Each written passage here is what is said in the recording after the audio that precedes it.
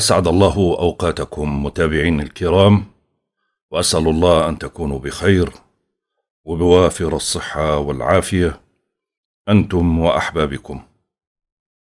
طبعا السؤال اللي راح أجاوب عليه اليوم بشكل مختصر جدا هو سؤال كثير انتشر وكثير ناس بتحكي فيه. هو حقيقة أنه الأرض كروية أو مسطحة والناس انشغلت في هذا السؤال ووجه إلي تساؤل على هذا السؤال ورأيي في هذا الموضوع. بكل صراحة وبكل وضوح الموضوع ما بيعنيني. يعني أنا مش من الناس اللي بتهتم في أمر لا بنفعني ولا بنفع المسلمين ولا بنفع البشرية. فموضوع إنه الأرض مسطحة ولا الموضوع الأرض كروية لا هذا رح يغير حياتي وحياة البشر ولا هذا رح يغير حياتي وحياة البشر. وإن كان الموضوع إنه نظرية المؤامرة وتآمروا علينا لتجهيلنا فلا بد في حكمة عند الله عز وجل إنه أخفاها عنا. وإن كان ما وصلوا إليه حقيقة إنه الأرض كروية فهذا شيء ننتفع فيه ولا بضرنا ولا بيأثر علينا. واللي بيجيبوا لك معناته كل علومنا وكل حساباتنا وكل أشياءنا غلط. طيب تفضل اجتهد واعطينا الصح. على حسب الإشي أو المنطق أو العلم اللي انت بتقول إنه الأرض تختلف شكلها أو حجمها عن الإشي اللي إحنا درسناه في المدارس أو عرفناه. فهذا موضوع أثاروه مجموعة لأجل إنه يشتتوا عقول البشر أكثر ما هي مشتتة. ويدخلوا الناس بترهات لكلام يشغلهم ويضيعهم عن لب الموضوع. يعني بمعنى آخر زي اللي بيحكي لك اطلع على العصفورة وبضربك كف فهذا الكف اللي انت أكلته في فايدة إلك ولا في مضرة لإلك؟ وشو ضيعت من وقتك انت وانت تفكر في هاي المسألة اللي لا راح تفيدك ولا راح تفيد الأمة ولا رح تضرك ولا رح تضر الأمة؟ على كل المقاييس. بالنسبة إلنا إحنا في علم الفلك هي نفس الحسابات. الشمس بتشرق أي ساعة وبتغرب أي ساعة القمر بيشرق أي ساعة وبيغرب أي ساعة اتصالاته في الكواكب. وإحنا هذا الإشي مش إنه والله بس على الورق ومش شايفينه بعيننا لا أنت في برامج بتقدر تنزلها على التليفون وترفع أنت على السماء بحدد لك هذا النجم شو اسمه ومكانه والبرج هذا شو هو وشو الكواكب اللي موجودة فيه. وبرضه بدون ما تطلع في ال application ترفع عينك بتشوف النجوم في السماء. هذا اللي بيهمني هاي السماء اللي بتضلني وهاي الكواكب اللي موجودة فوقي. غابت طلعت لفت حوالين الأرض آه تشعبطت لعبة جمباز ما بيهمني. بيهمني إشي واحد إنه أنا شايف الإشي بعيني ومتحقق منه ومتأكد منه وعلى أساسه أنا بكتب الإشي اللي أنا شايفه. ولكن شيء بدك تثبته يا سيدي شد حيلك اطلع على السماء وصور صورة وتأكد إنه الأرض مسطحة ولا لا. بس إنه في النهاية حتى لو صورتها إيش رح تستفيد أو إيش رح نستفيد إحنا؟ فهذا الموضوع ما بنصح حدا إنه يدخل فيه ولا إنه يحكي فيه. ورد في القرآن دحاها وورد في القرآن كورها وورد في القرآن وتفاسير القرآن إنه مسطحة وورد في تفاسير القرآن إنها كروية واختلفوا عليها هاي المسألة منذ الأزل منذ الأزل وهم مختلفين على هاي المسألة. شمعنا الفترة هاي أثيرت. ليش؟ فكر قول ليش إنه هسه هاي المسألة أثيرت وصار لها ناس وصار لها جمعيات وصاروا ناس يحكوا فيها؟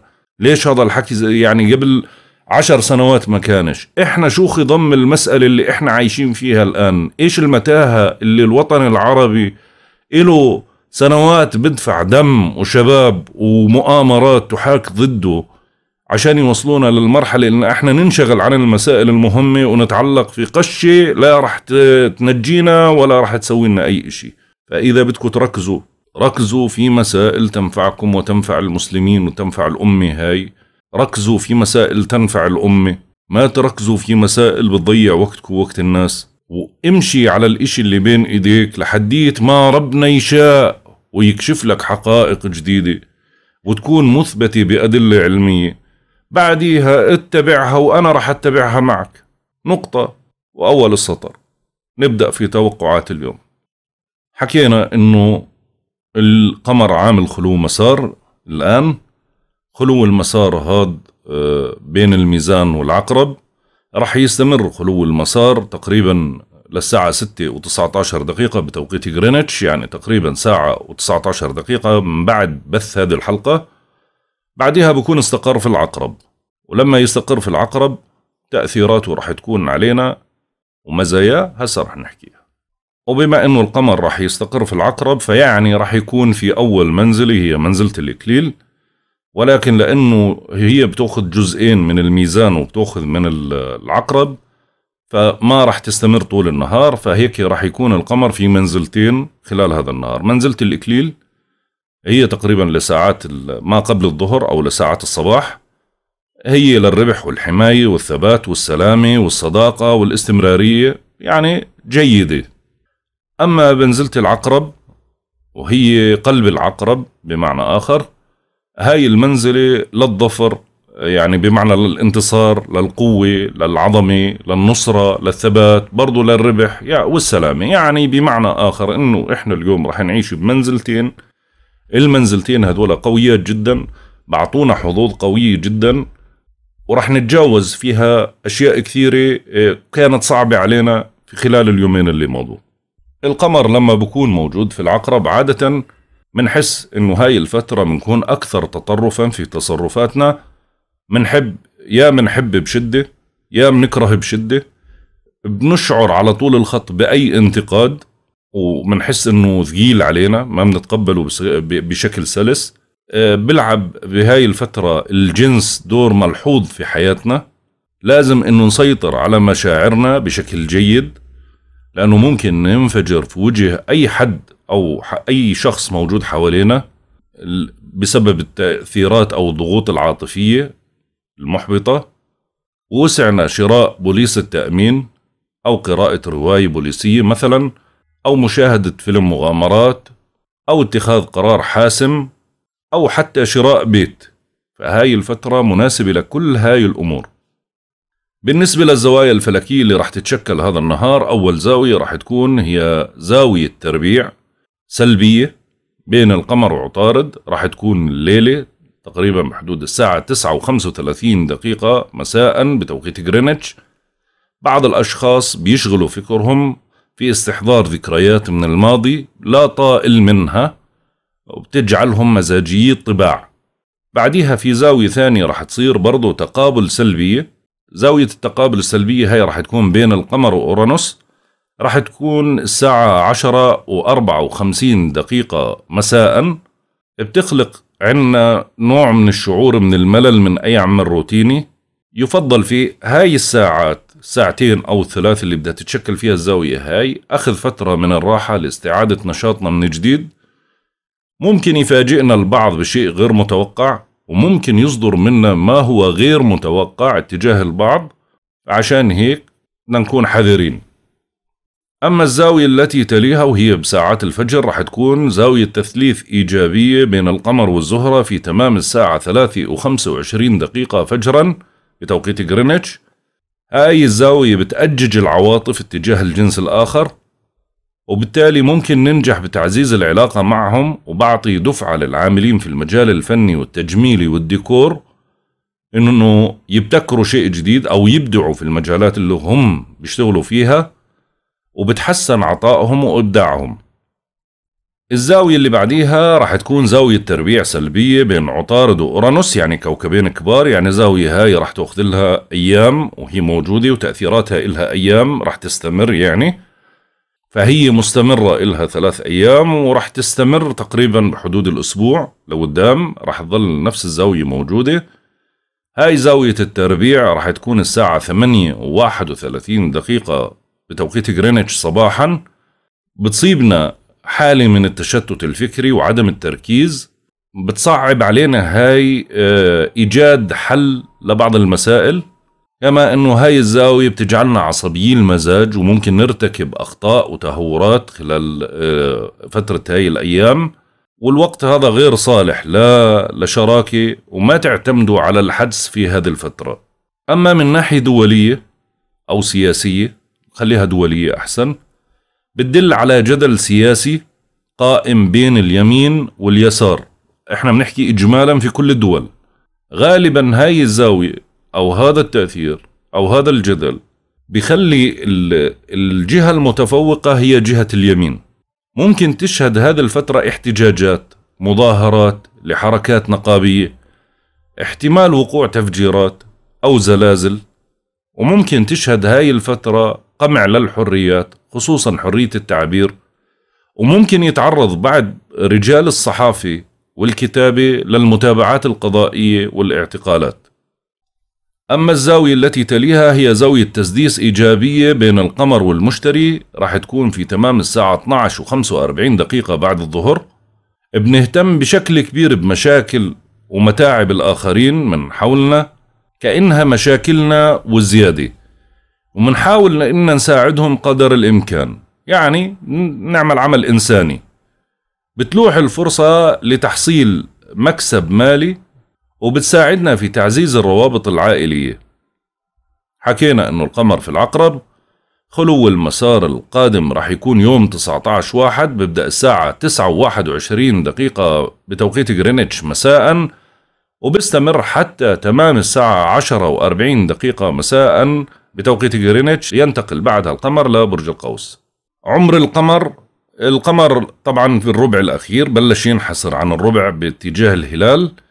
عمره 22 يوم وفي تمام الساعة 10 و18 دقيقة بتوقيت غرينتش الليلة يعني بصير عمره 23 يوم نسبة الإضاءة تاعته بتصبح 40% بالنسبة لمزاج الكواكب وطباع الكواكب لهذا اليوم الشمس في الجدي حتى 20 واحد منتحس القمر في العقرب حتى 19 واحد سعيد عطارد في الدلو حتى 3 2 منتحس الزهرة في الحوت حتى 7 2 سعيد المريخ في القوس حتى 16 2 منتحس المشتري في الجدي حتى 14 5 مزاجه ممتزج يعني طول اليوم بتقلب بين السعادة والنحوسة فعشان هيك بنقدرش نكتب سعيد ونحيس سعيد ونحيس لا بنحطه ممتزج. زحل في الجدي حتى 11 5 مزاجه سعيد. أورانوس في الثور حتى 15 8 مزاجه سعيد. نبتون في الحوت حتى 23 6 مزاجه سعيد. وبلوتو في الجدي حتى 25 4 مزاجه ممتزج. وصلنا لتوقعاتنا اليومية. برج الحمل. اليوم بيحمل فرص كثير لمكاسب مالية وفي منكم ناس رح يحصل على مال يا إما من شراكة يا إما من تعويض. صحتكم أو صحة يريب إلكم بتكون خلال هذا النهار أو خلال هذا اليوم بحاجة للرعاية. عالج الأمور بموضوعية وتجرد وكون حريص على تلطيف الأجواء ما تكون عند عنيد وعصبي. ومتوتر ومنفعل حاول إنك تكون هادي الأعصاب وإذا كان عندك توقيع عقد أو مشروع معين بفضل إنك تستشير وتتأكد من المعطيات قبل توقيع العقد أو البدء في المشروع برج الثور كل اهتمامكم بكون على محور تدعيم شراكتكم المالية والعاطفية. أهم شيء إنك تحافظ على أعصابك ونبرة صوتك يعني الصوت العالي ما رح يعطيك نتيجة خلال هذا النهار. وما تعرض بخلال انفعالاتك أي لقاء إلك ممكن يكون مثمر تعرضه للفشل بسبب عصبيتك. القمر صحيح لأنه موجود قبالك شوي هيك بتحسها تعيسة وشوي الجو حزين لأنه ما عندك طاقة كبيرة وممكن تشعر بالظلم حتى أو القهر. أهم شيء إنك تتجاوز الفترة هاي بدون يأس وبدك تكون صبور لعلك تنجح. برج الجوزاء. يعني حكينا إنه مش زي الأيام الماضية القمر الآن موجود في بيتكم السادس بيت الصحة. يعني انجزوا اللي بتقدروا عليه من العمل وما تخلوا العمل يتراكم. نظموا جدول غذائكم خذوا قسط كافي من الراحة ما تسمح لحدا بالتشكيك بقدراتك. ناقش واستفسر عن التفاصيل. استشير الخبراء في المجالات اللي أنت بحاجة لاستشارة فيها. لا تتشبث برأيك. استمع لآراء الغير بهدوء وروية بدون عصبية. ما تتسرع في قراراتك. ممكن هذا النهار تنشغل بملف أو بمعاملة. برج السرطان. يعني هذا يوم إيجابي ببعث في روحك وفي جسدك البهجة والانشراح. ما بتخلى الحظ عنكم لا عاطفيا ولا ماليا. ممكن يكون عندك نوع من أنواع المفاوضات اليوم وممكن تحقق أعمال وتقدم واضح. أهم شيء إنك تخصص وقت ممتاز لأحبائك. أنت اليوم مشحون بحيوية وحماس كثير. تقدر تتواصل مع أحبائك ومحيطك بشكل سلس وتحقق نتائج ممتازة جدا من هذه اللقاءات والاتصالات. برج الأسد. يعني كل الأمور هسه بتنصب على المسكن أو على العيلة. أو على البيت. ممكن تعديلات ممكن تصليحات ممكن أعطال منزلية. منكم ممكن يغير سكنه أو يفكر أنه ينتقل من سكن لسكن أو من مكان لمكان. بميل أفراد العائلة إلى آه، مساعدتك. ممكن آه، تدخل فترة فيها مواجهات مع الحبيب أو مع أفراد العائلة. الفترة متوترة شوي تضطر إنك تهتم بأحد أفراد العائلة. أهم إشي إنك ما تهمل صحتك. برج العذراء. تنشطوا اليوم في الدراسة في السفر في الامتحانات في الاتصالات في التسويق. هذا يوم مناسب للخروج نزهة زيارة آه، رحلة آه، بتعززوا فيها علاقة مع أخ. هاي فترة مناسبة للمفاوضات. شرط إنك تتحلى بالروية والحكمة والموضوعية. يعني فترة ممتازة بطلب منك إنه بتج... الفترة هاي تستغلها بالتعبير عن عواطفك وتوضيح أفكارك. في منكو أشخاص رح يطلق حملة ترويجية وفي منكو رح يسمع خبر رح يكون مفرح جدا بالنسبة له بنتظره له فترة طويلة.